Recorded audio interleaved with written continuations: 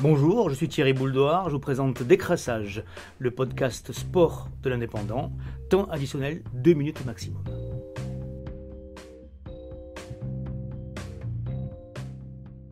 C'est toujours comme ça avec les matchs tôt le matin, l'euphorie ne dure pas.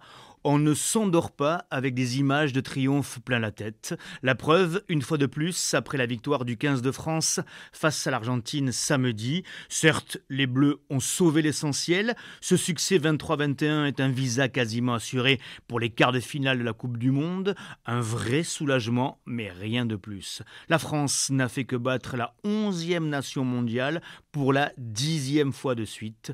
Tout cela au bout d'un match à mi-temps sur un drop à l'ancienne de numéro 10, Camille Lopez, lui aussi à l'ancienne. Si la première période fut un plaisir, la seconde reste une souffrance.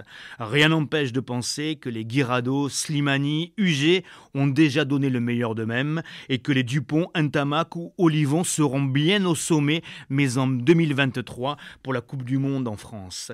En fait, les Bleus qui avaient tout à perdre samedi se sont juste offert le droit d'y croire un tout petit peu, et c'est déjà beaucoup après 4 ans de déprime. Si elle ne déprime pas, cette Coupe du Monde de rugby ne s'enflamme pas après son premier acte, aucune surprise à noter, aucun coup d'éclat des petites nations, aucune polémique naissante, un premier tour de chauffe en somme, avant un long tunnel et ce France-Angleterre du 12 octobre, le temps pour les Bleus de nous faire vraiment croire au miracle.